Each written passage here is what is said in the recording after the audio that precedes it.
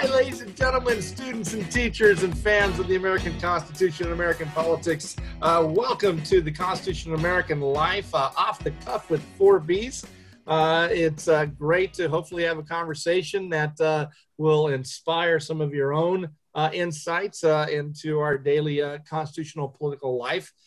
this session, um, we want to talk about the third branch, Article 3, but more importantly, want to kind of narrow down on uh, the controversies involving interpreting uh, the Constitution. And I think it would be safe to say that um, that since day one, or at least I don't know whatever day it was, since Marbury, there have been continuous controversies. Uh, which have a lot to do with just the very nature uh, of Article 3. Uh, but we find this to be extremely topical. One, uh, I think we are seeing the consequences of the court's decision uh, in Heller versus US and Chicago versus McDonald, two cases dealing with the Second Amendment, which I believe will, will be hotly debated for decades uh, to come. And also, the court just recently agreed to hear a Mississippi uh, uh, uh, law on reproductive freedom or abortion that the state legislature passed. They're going to hear that next session.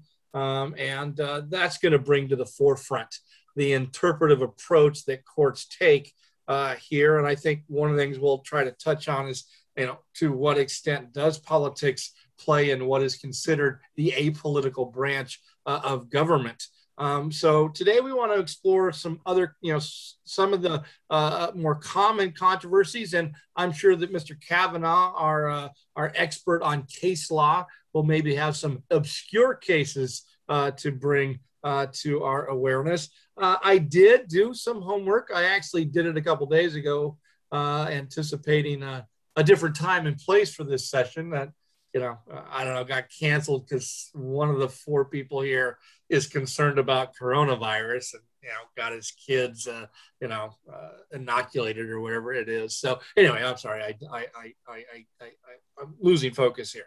Anyway i did look at uh, a couple of sources on the kind of what are considered the worst decisions in supreme court history. Uh, i looked at FindLaw and uh, then the american bar association. Uh, each of them had lists and commentary on that uh, and so I think most of these uh, we uh, wouldn't be surprised, and some of you may not be uh, surprised there. Uh, Dred Scott kind of leads the way uh, there. Uh, Plessy versus Ferguson, uh, Lochner versus New York, and and I, I, bring this up at this time because we may be referencing and talking about some of these, and to give my compatriots here, you know, maybe some you know time to think about some of these cases. Bush versus Gore, um, Buck versus Bell, which uh, I, I, that kind of motivated me to do a little bit more reading on why it was considered, you know, uh, one of the worst decisions, which you know leads us, I think, to uh, maybe have to talk about what criteria we, do we use. The civil rights cases of 1883, Hammer versus Dagenhart. Uh, Exxon Shipping Company was the one uh, on the on the list uh, from both sources that I really did not have a lot of background detail. Uh, Korematsu, it's interesting. One source uh, ranks it uh, uh, as one of the bad decisions. One one source does not. Bowers versus Hardwick, Kelo versus City of New York or, or New ah, New is it New Haven? No, is it New Haven, Connecticut? Yeah. All right. And Citizens United. Uh, so those are kind of the top 12 based upon the sources I looked at. I'm sure you could have a nice uh, uh, dinner conversation on that list and move things uh, in and out. Uh, but let's kind of start with you, Mr. Kavanaugh. Um, and, and that is the criteria for evaluating a case as being a bad or good decision. I'm curious from you know from your perspective is is that very act a political process? That is is judging supreme court cases there is no objective criteria whatsoever that we can put together to make those judgments that in the end uh, it comes down to whether or not you like the end results. And if you like the end results it's a good decision. If you don't like the end results it's a bad decision. So um, I, I, I guess I would have to agree with that. I would go back to uh, a scholar we've mentioned on this uh, this uh, in our discussions before that we're I think most of us are familiar with is uh, Dr. Kermit Hall, uh, who uh, you know brilliant scholar in his own right and, and author um, who passed away a few years ago. Uh, but I always like what he said. He said, you know, if as far as Supreme Court decisions, somebody's dump truck's getting unloaded. And as for a guy that was cerebral as Kermit was and, and thoughtful as he was with his word choice, I, that really struck me. It's like somebody's dump truck is getting unloaded. And I think, David, that's exactly what you just described. You know, um, I think one of my students one time at a hearing said there's no such thing as judicial activism. She said that's what the losers call it. Right. Um, right. So I think it depends on your perspective. Oliver Wendell Holmes, I think, said it best one. I think he said that the law is a mirror of the American people. So, you know, I think sometimes most of the time the court is behind society in terms of its some of its thought process. But yeah, I think it is. I think it is the case that um, you know so much of it depends on if, if which way your twig is bent, and depends whether or not it's a good opinion or a bad opinion. But somebody's so, truck is getting unloaded.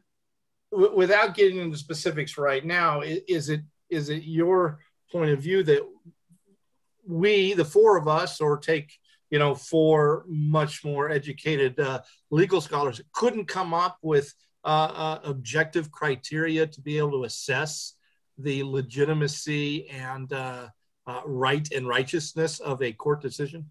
Well, I think so. I do. I do think so because I think that you know if the court opinion, whether it's written by a, a lower court or the Supreme Court, if it's grounded in the law, right? If it's anchored to the law, um, and sometimes we all know it's depending on personal interpretation, but if it's grounded in the law, I think it more than likely, even if you don't like it, is probably going to be a legitimate opinion.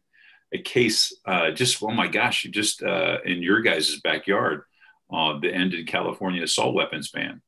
Just in, in the last couple days, I was just reading a, about the uh, judge's opinion, and oh my goodness, uh, this guy has, uh, I don't know if you've read anything about this, that, oh.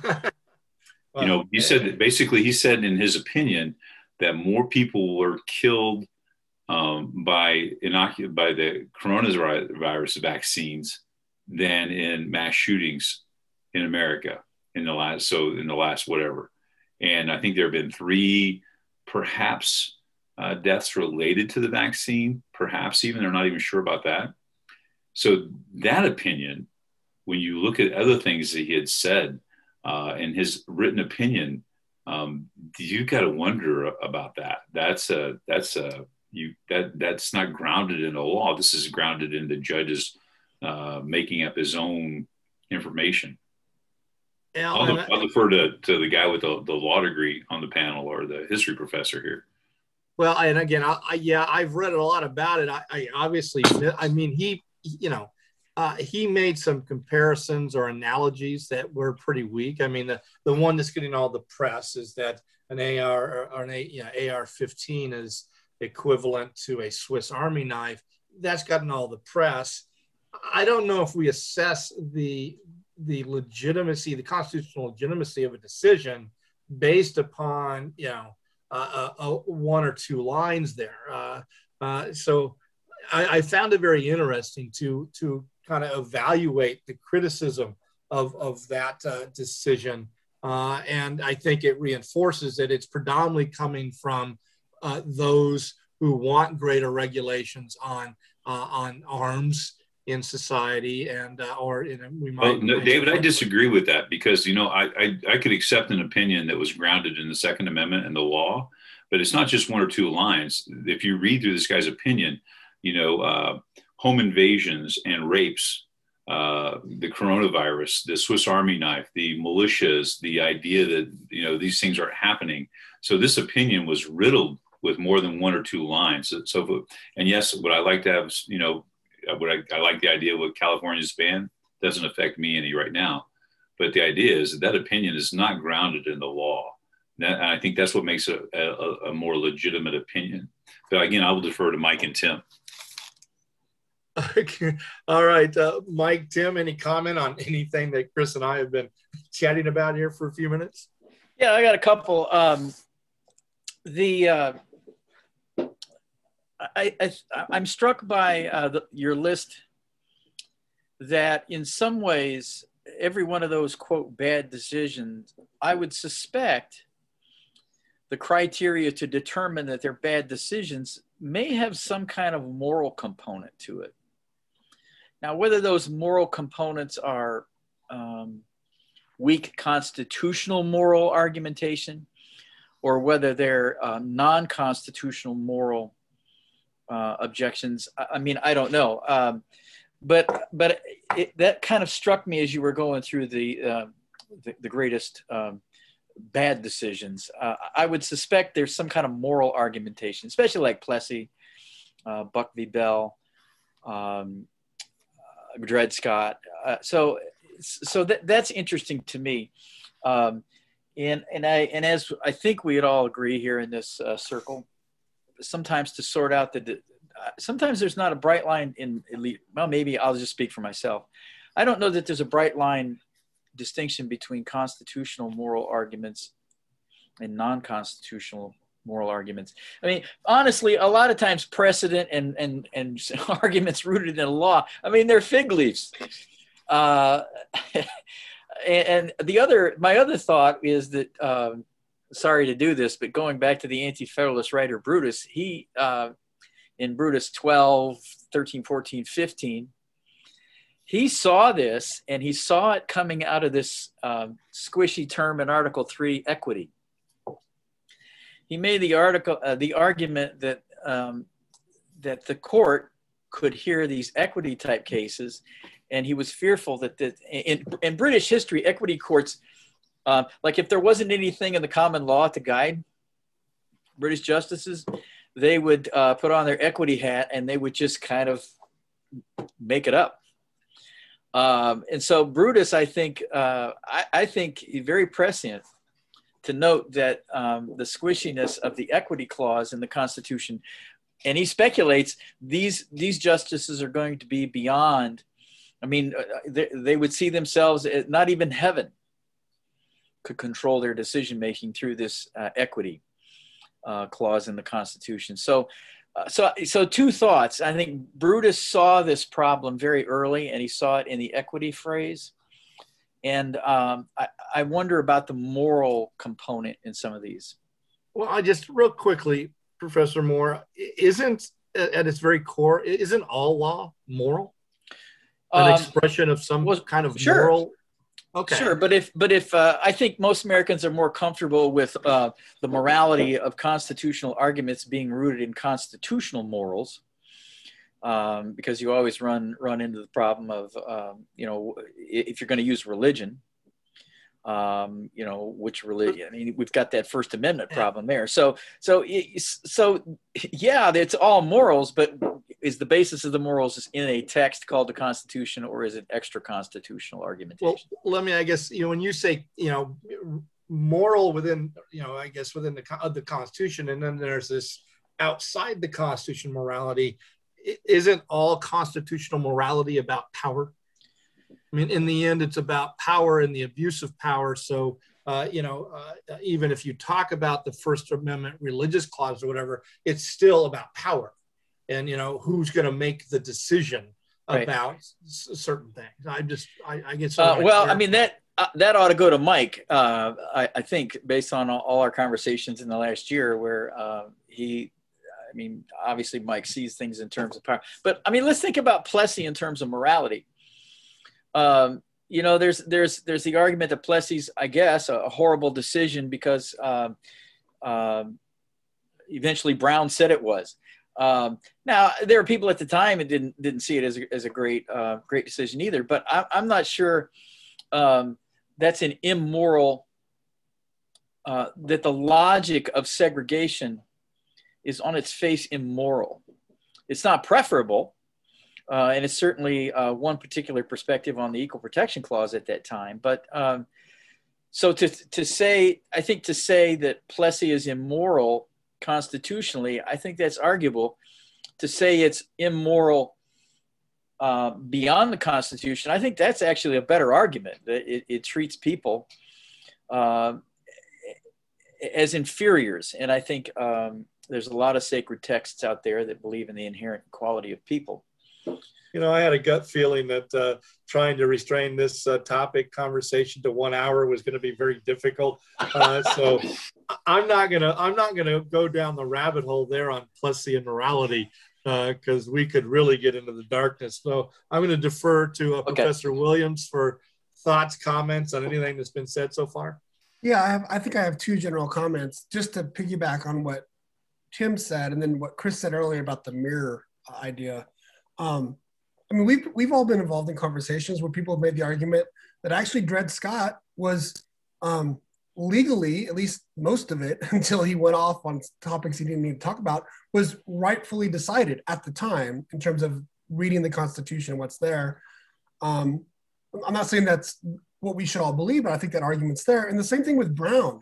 Um, we've had discussions in this group about how Brown got to the right result, um, but as a legal decision, it was probably not the court's best work. And we're probably, you know, there's more and more written now about the implications of that, right?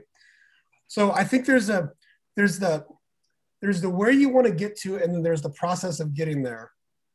And my other comment related to that is that, you know, there's been these debates within the legal community and political scientists for a long time about whether judges and justices could be these completely objective referees, right? Like that they were just sort of like robots that could do their interpretation and leave out all their attitudes and experiences. And you know, there's actually been a lot of research on this by political scientists and legal scholars who say no, actually, there's evidence that judges and justices are going to rule in a way that reflect their own experiences, their own backgrounds, their own preferences, and we should expect that. We're human beings interpreting words. But to me, what that signals then is that we need to be really sure that the court represents the differing in opinions and differing perspectives that are out there. So when we when we talk about interpreting the Constitution in courts, I think we have to have a conversation about okay, who is on courts? How do they get there? How long do they stay? Should we be doing a better job at making sure that these these diverse opinions that we know are going to exist when you interpret any sort of written text, that you have the most vibrant, honest discussion as you can instead of having it being made by maybe folks who, who are going to see the world in one way and, not see the world in others. What was uh, John Roberts' statement? Uh, he tried to be real clinical and he said, We're just umpires calling balls and strikes. Yeah. Uh, I think that may get to your point, Mike. Yeah.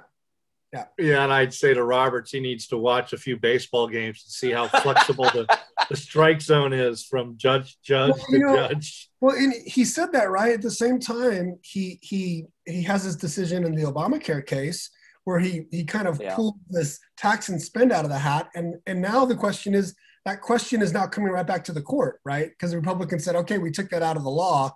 What are we going to do now? And um, so we'll see how it easy is it is for him to keep his strike zone per se, right, on this kind of interpretation. There's two things there. Um, the idea, well, one, uh, uh, let me go back to Tim and uh, Plessy.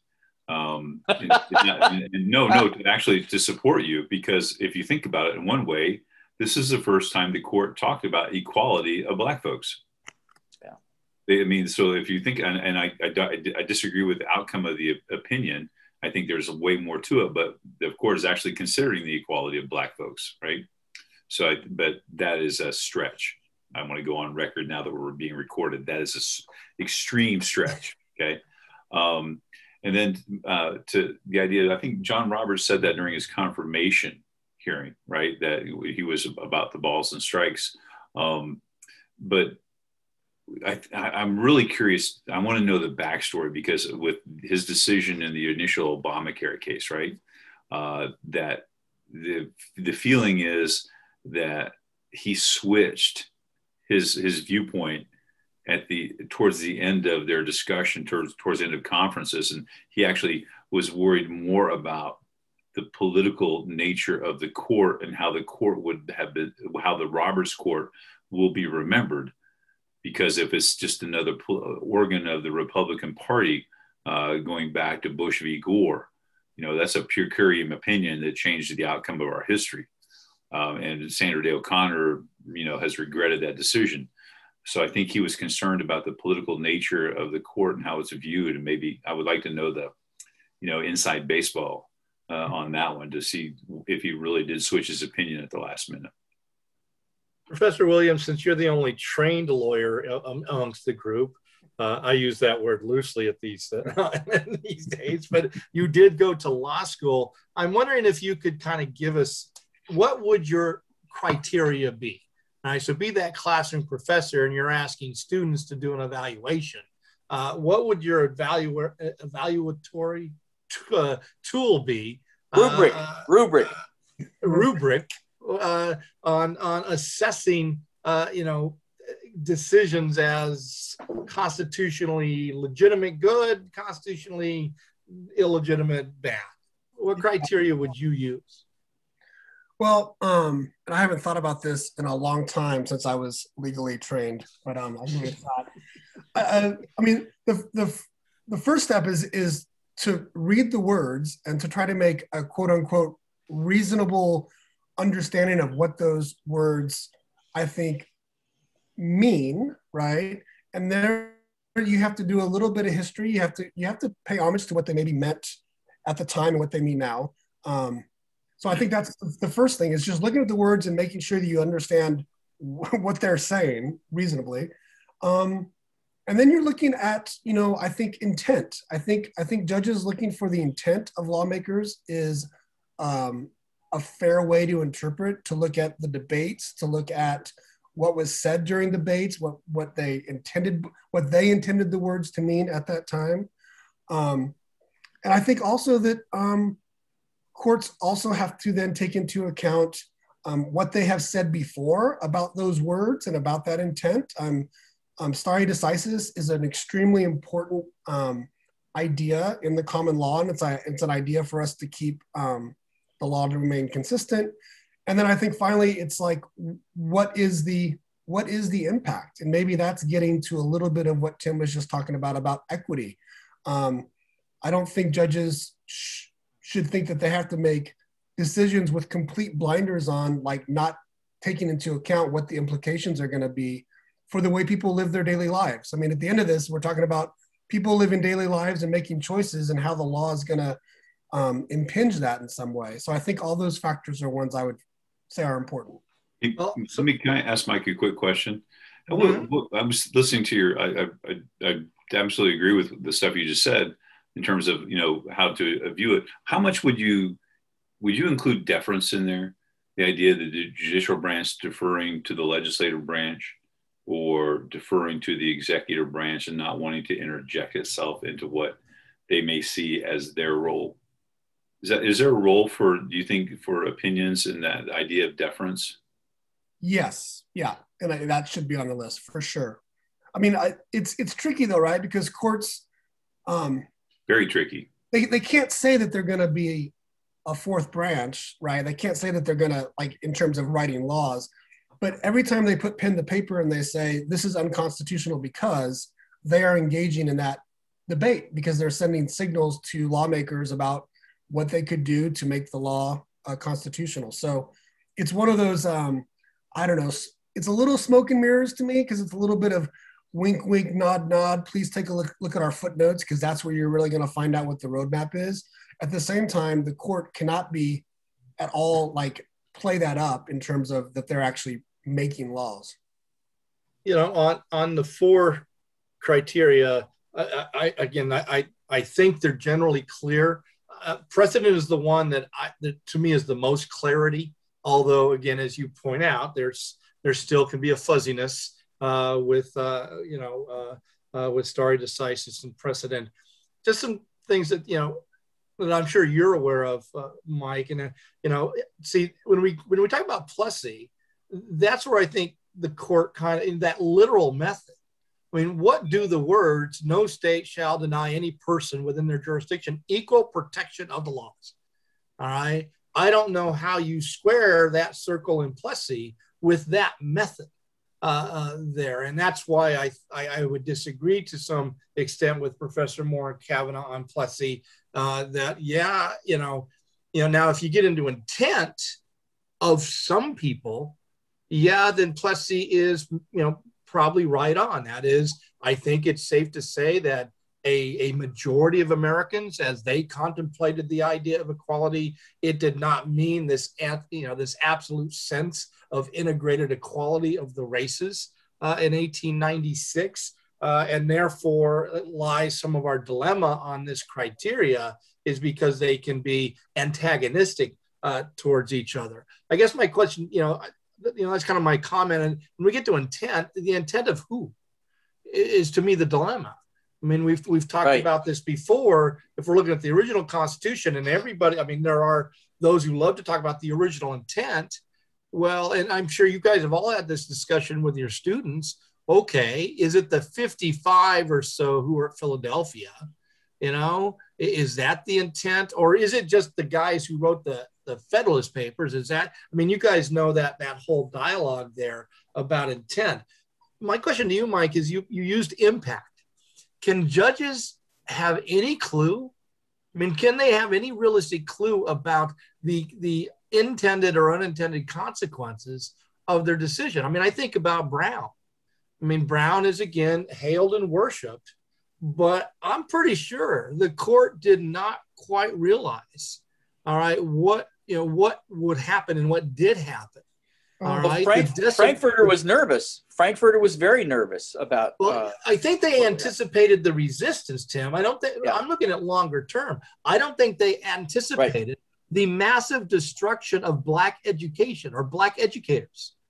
Because oh, in integrated schools, who were the first to go? As black educators at the black schools, you know, uh, were the first to go, and you kind of destroyed this this middle class element there. I don't know if they could anticipate that. Oh, you see, I I thought you were leaning to a different way for what the court did know. So this is the way I would see that. I think you're right with what you I'm said. left-handed. You know, it's called a, it's called a curveball. it's called a curveball. I, I threw you a curveball. Yeah. I like I like it because I'm a right-hander, and that's gonna come right into my wheelhouse, man. It's gonna go uh-huh, right. Okay. Um, um, especially if it's an eephus pitch.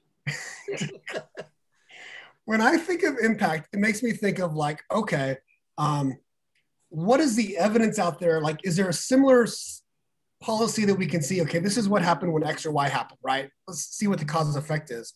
I see the court sitting there in Brown and saying, okay, we've had we have this social scientific evidence about what has happened to young black children being in this environment. And if we do nothing to stop it, that is going to continue.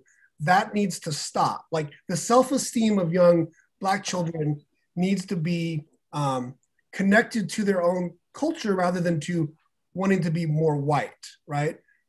I think that's where the court was focusing on the impact. I think they didn't have the information for the other impact.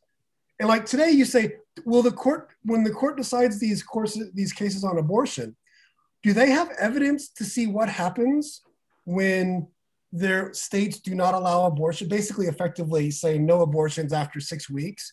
We have the evidence to know what's going to happen in terms of the past, right? And I think that yeah, I do think that courts there's a there's room for that in the court's sort of decision. Well, there's that's, the legal. Go ahead. But that's Tim, probably why Lochner is such a bad decision because, uh, I mean, when the court says uh, New York can't uh, regulate hours, the impact is uh, it advantages employers and it shafts uh, immigrant uh, immigrant workers trying to make a living and, and just survive. So I think Lochner may be one of those classic examples where they didn't think through the impact of you know looking at the 14th amendment the way they well, did in that case. Well one Tim, uh, dave i'm sorry just one more thing about brown is uh, and just a side note and i think dave your point is absolutely uh, spot on in terms of not anticipating that yeah. type of outcome. I don't think they anticipated that but also remember the time frame for anybody watching this. It was the cold war and you know we're you know the idea that the pressure on the court to be unanimous and on Warren to make it unanimous and the steps he went to, like steps to the hospital uh, to get a justice to be able to you know get on board with this. So I think that we it didn't happen in a vacuum, right? The the events of the day, especially the Cold War, as we saw that being played out, we are you know opposed to the godless communists. We're all that in a bag of chips, but we treat a big part of our population like second class citizens how can you say that the democrat democracy in america is better than communism so I think there's a there's uh, that aspect of Brown as well. Well, I guess, I guess you know, in this whole discussion, especially with you and Mike in these last few minutes, it seems to me that you guys see the court playing a public policy role. I mean, the, the, the issues we're looking at, that you know, should they even consider? I mean, I guess I, you know, here's the question: Should they even consider impact? Because the impact is more about, you know, to me, the policy side of law. Their job is to interpret either the Constitution or statutes.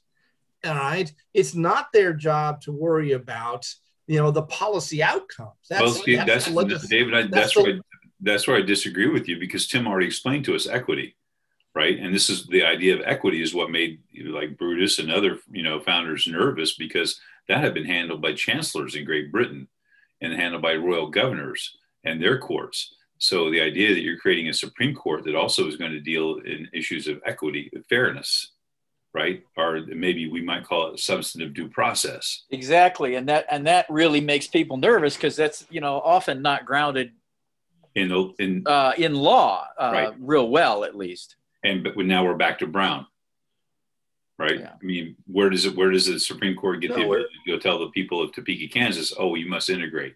Then we go back to Mike's point about fairness, and we think about the Clark Doll study. We think about the idea that uh, what the idea of living in a society uh, for young black children at that time, and even maybe to this day and age, what society tells them that their, their reflection. But see that, and there is my problem. And I think that's there's where the court gets into trouble, Chris. And there's why the faith in the court has diminished greatly. Um, it's not the court's job, all right, to to get into sociology, all right, of the social psychological impact of segregation on young black uh, uh, uh youth. That's it's not that it's the legislature's job to think about those policy implications. Their job, and, and that's why I think Brown is such a horrible decision because they they went off into this law law land of social psychology. They could have had the same results just by sticking with the literal understanding of equal protection of the law. And therefore well, they wouldn't have been accused of of making things up and legislating from the bench if they had just said hey here's what everybody understands what that means. Tim well, but they did uh, the same failure in Gobitis. I mean, uh, the year after Gobitis, Adventist kids were getting beat up all over America. Um, you know, and so I mean, I agree with you. Um, I think I fundamentally agree with you. It, it's a real squishy thing. squishy, there that is again.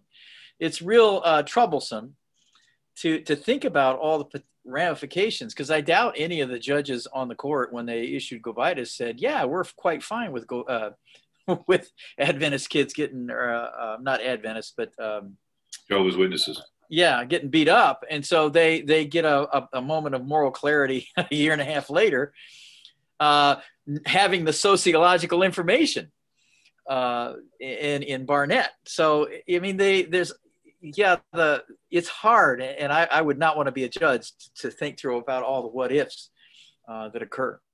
I mean, it can't it can't be the it can't be the leading factor, but I I just want to understand your argument because David, would you admit that when a court makes any decision, they realize it's going to have a public policy effect, and they probably have an i they have an inference of how it's going to affect public policy, right? Like they know that as human beings. They might have, you know, some idea, but that gets back to my question. I don't know if they can anticipate. Well, all right, well, the impact of their decisions. Uh, you know, in any kind of accuracy that we're comfortable with. I guess in terms of just as a as a rubric of interpretation, then I guess for me, once you take the step and say, all right, these are not sequestered Americans. These are Americans living in society, reading the newspaper, going out. They realize the public policy decision of X case. What I hear you saying is, is that they should then consciously try to block that out. And what I'm saying is they can't ever consciously block it out. So why don't they at least, I don't know, be in tune with it? And it, it, it can't be the leading reason, but I think that it, it, it can be a part of their overall analysis in terms of at the margins, knowing this, we should factor that in, is what I'm saying. and I think that on some of the cases that we've talked about, the problem is that it is, it does seem to be the leading factor. Well- Whether it's Brown, uh, you know, but some and- but some of the cases come to the court as a sociological case. Like think of all the affirmative action cases that they've had to decide over the years. Well, that's a straight up policy case, and and they're they're trying to weed through all the policy ramifications of uh, of post Bakke uh, to to do that. So I mean, some of them come. I guess my point is some of them come to the court as a policy case with So- a little bit of constitutional language attached to it. So, David, based on your argument, would you say that Roe's not justiciable?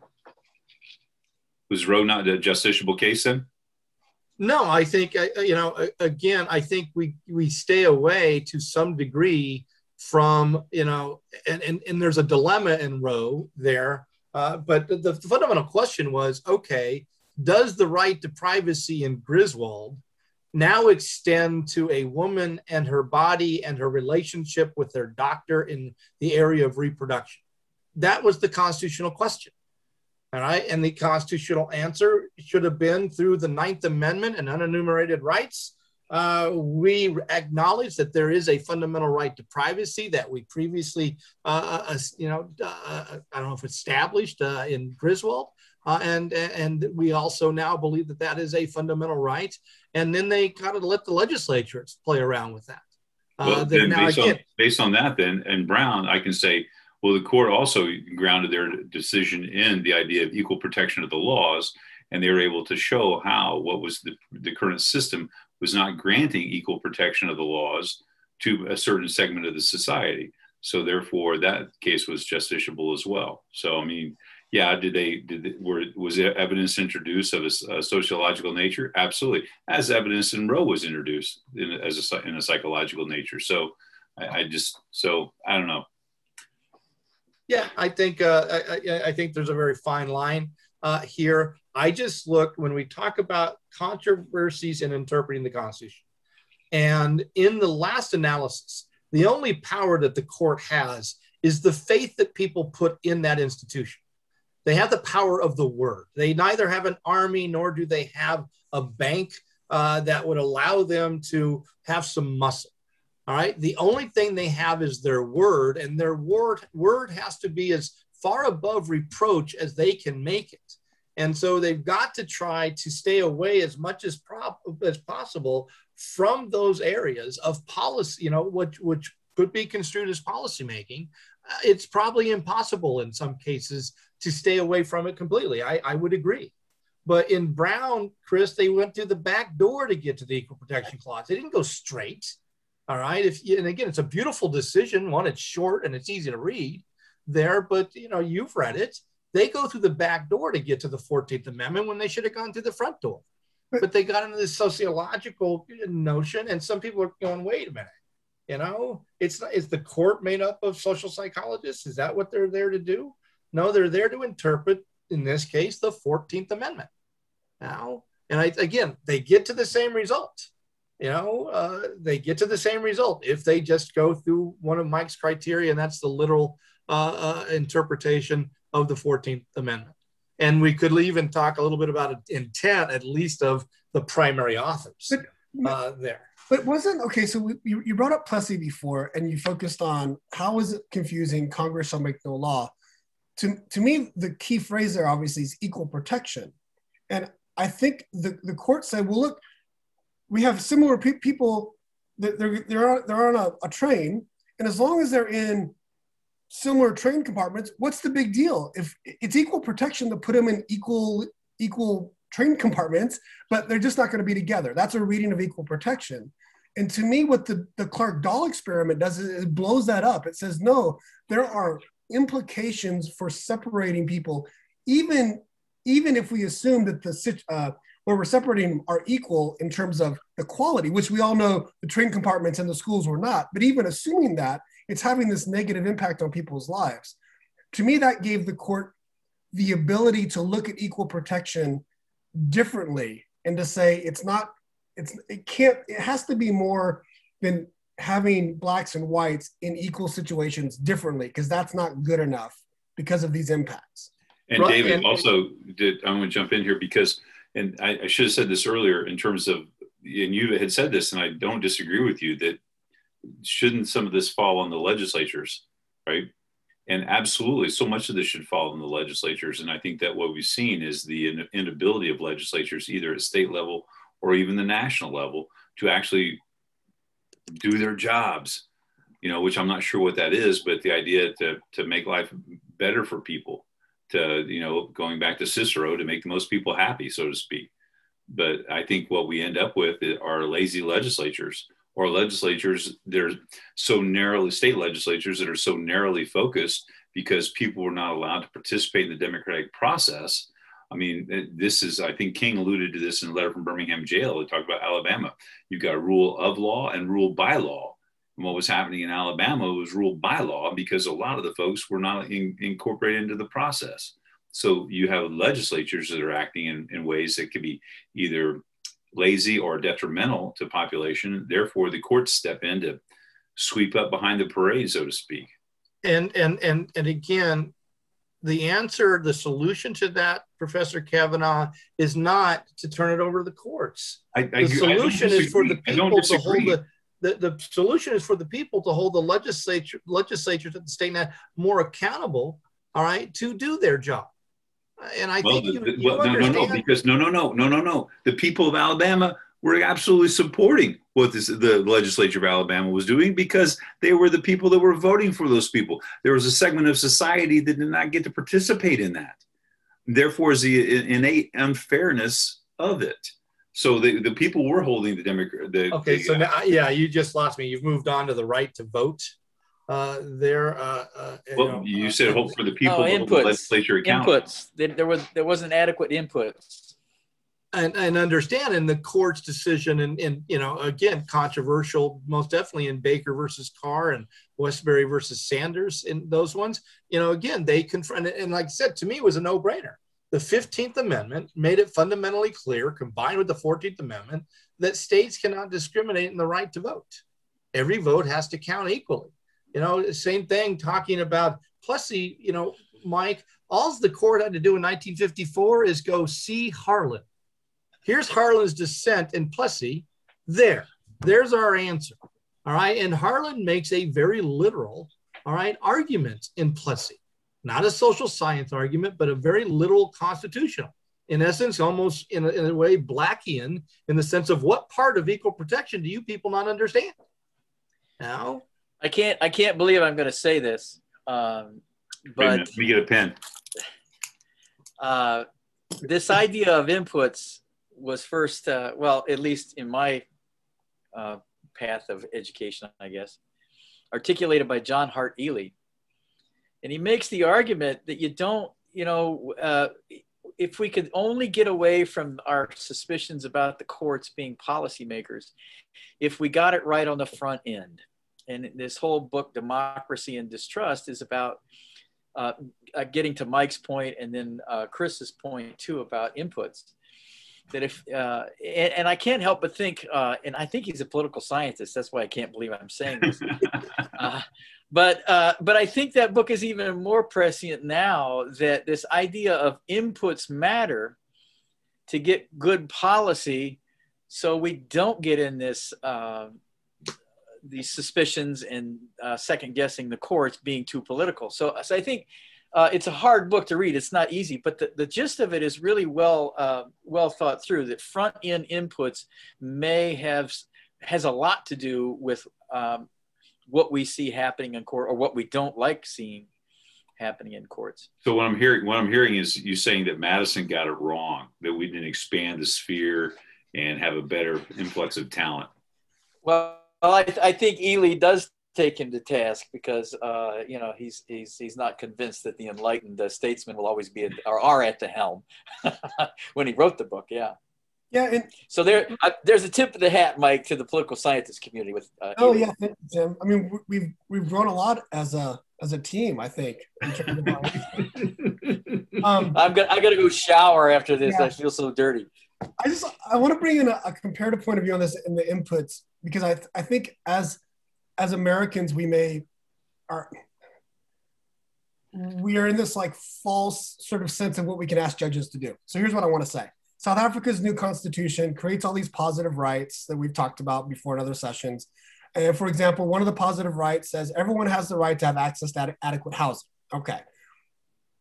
Alarm bells go off for Americans. Courts shouldn't get involved in this. The second line of the of the phrase though says the state must take reasonable legislative or other measures within its available resources to achieve the progressive realization of this right.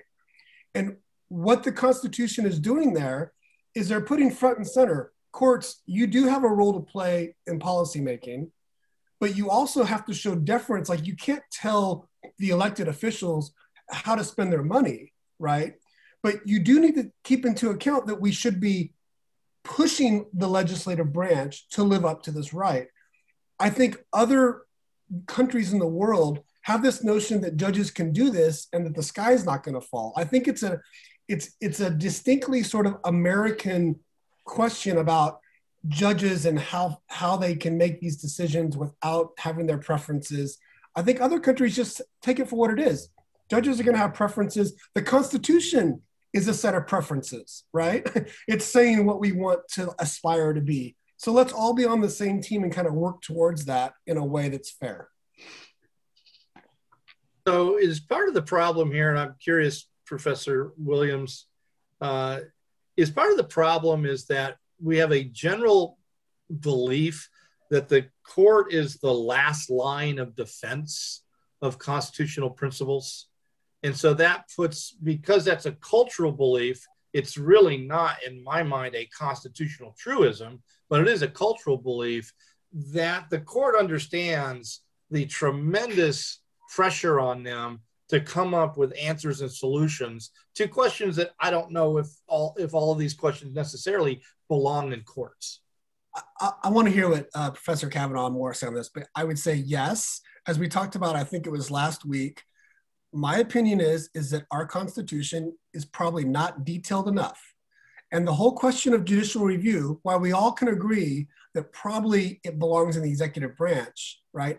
It's not clear it, it, it could be stated much more clearly about what the role of the court is vis-a-vis these other branches.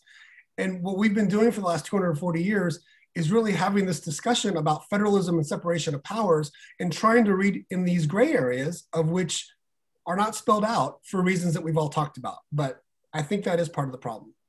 I think I think Justice Jackson said this. I I, I, I think I got the right guy.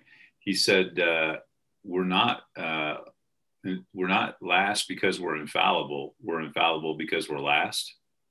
Um, and you're right, David. And I think you're absolutely right in terms of assessing uh, what the cultural belief is that, that why the court is so important because they're the backstop, right?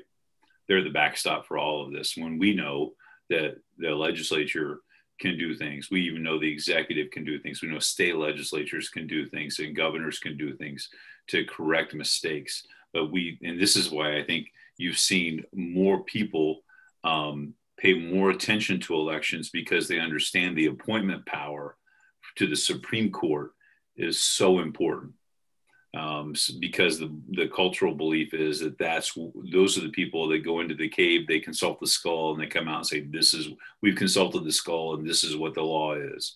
And um, so I do believe that's the case. And though we know that, that there are ways that the court is not last. So unfortunately, I do believe people believe that.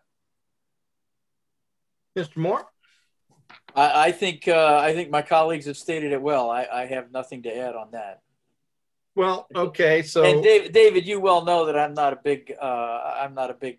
I don't turn court, cartwheels over the court. Uh, I, I, have suspicions about their uh, uh, sagacity. Wait, no, weren't, I, you just, weren't, you just, quoting a, a, political scientist? Come on now. Yeah, I, I was, I was, but that okay. uh, you know, the, you know, consistency is the last refuge of a scoundrel.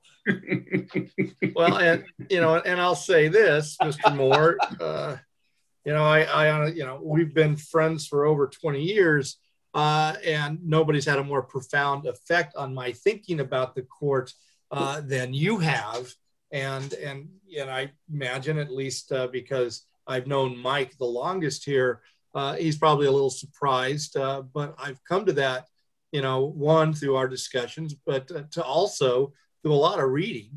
John Hart Ely was was one of them, and yes, that's a really hard book to get through, to be quite honest. Uh, but uh, you know, that my love back in the 80s and 90s of the court and and just you know plotting and feeling warm and fuzzy about the Warren Court and to a certain degree the Burger Court.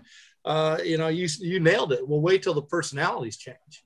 Yeah, I mean, that's, I mean, that's right? Simon, wrote a great book uh, of the court being the white horse comes in, in uh, the, the, history of the American court has been expanding liberty. And so, uh, Keeping the Faith, I think, was the name of the book. It's a great book. But the premise was that the court is this, uh, you know, the, the savior and expanding of liberty. Well, I, I mean, when I first read it, I thought, okay, that's a good book.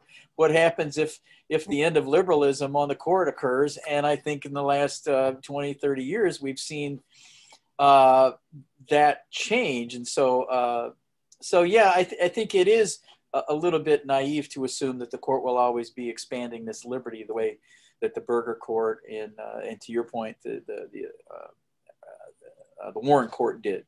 I mean, those I days are over. I think the uh, Mississippi case that Mike alluded to earlier, I think, or somebody did, maybe David, you did.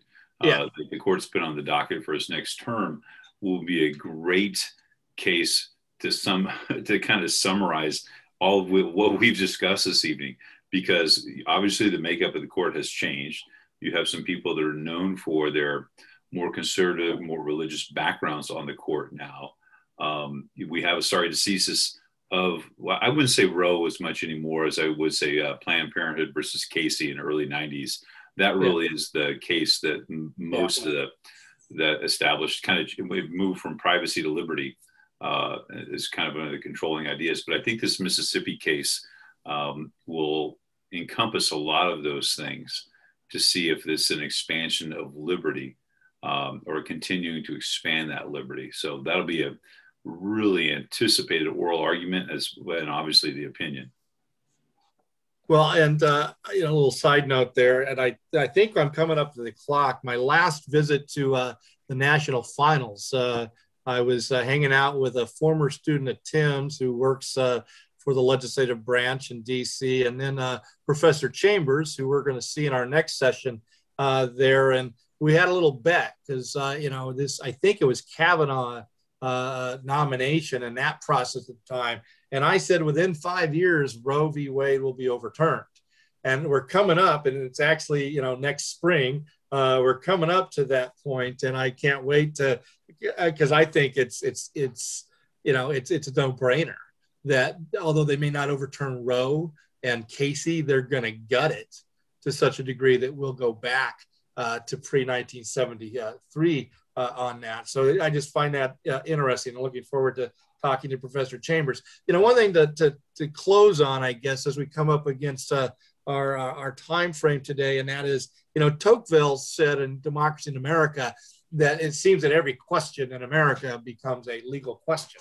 Is that a byproduct of our culture at the founding? Or is that the establishment of the Constitution and uh, uh, yeah, I'm asking you a philosophical. You want to ask question. that question with two minutes left? yeah.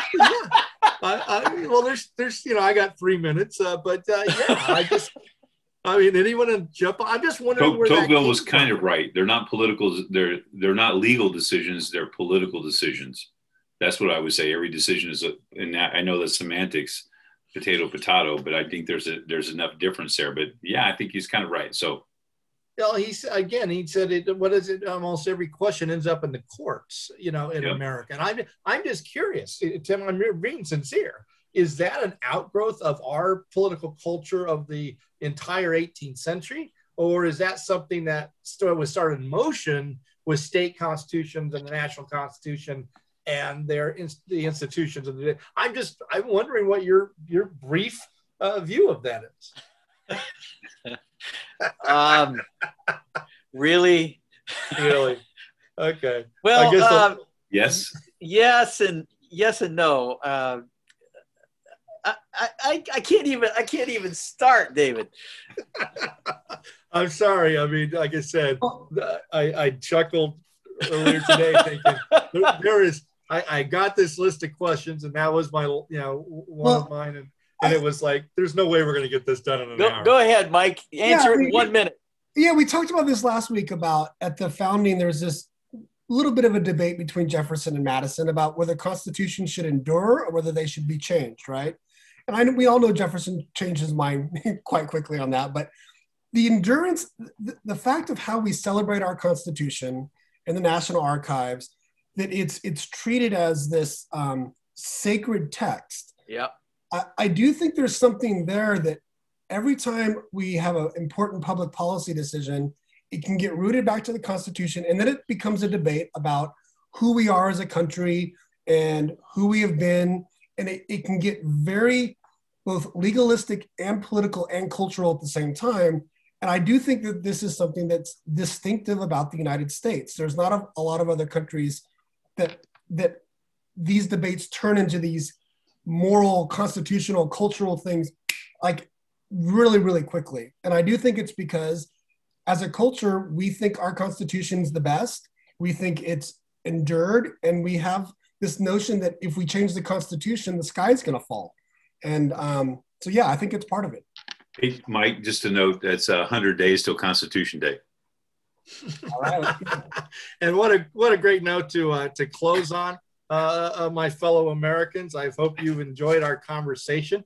Uh, in our next session, we are going to have uh, Professor uh, Hank Chambers uh, from the University of Richmond Law School, and we're going to talk about again a topic I don't know that we can contain it within an hour, and that is the current discussion on uh, let's see, critical race theory, the 1619 Project, education, and the First Amendment.